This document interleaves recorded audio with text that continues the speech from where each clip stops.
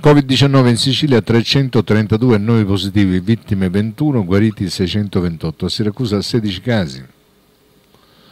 Nel territorio siciliano calano i contagi, nelle ultime 24 ore sono registrati 332 nuovi positivi su 18.637 tamponi processati e una incidenza di 1,7%, il tasso più basso rispetto a ieri. Le vittime sono state 21 nelle ultime 24 ore e portano il totale a 3.869.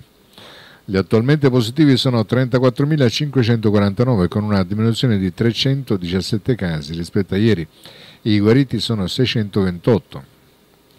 Nella rete dei contagi delle province Palermo 110 casi, Catania 110, Messina 51, Caltanissetta 19, Siracusa 16, Enna 10, Trapani 9, Ragusa 5, Agrigento 2.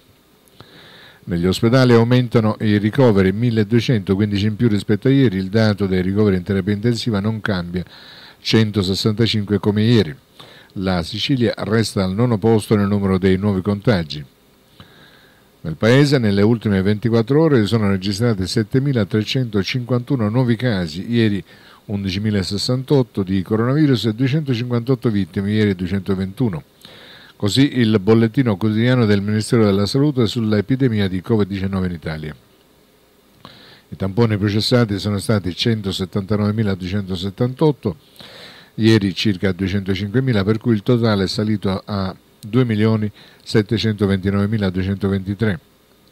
Quindi il tasso di positività è del 4,1%, ieri eh, è stato del 5,38%. In totale i nuovi casi all'inizio della pandemia sono 2.729.223, mentre il totale dei decessi è salito a 93.835.